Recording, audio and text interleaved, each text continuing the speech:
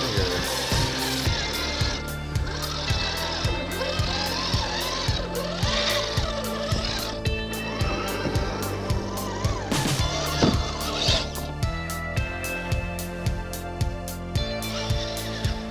Hmm, I wonder whose house this is.